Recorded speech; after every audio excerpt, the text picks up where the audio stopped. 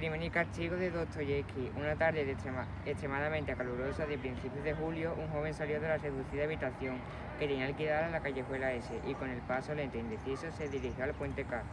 Había tenido la suerte de encontrarse con su patrona en la escalera.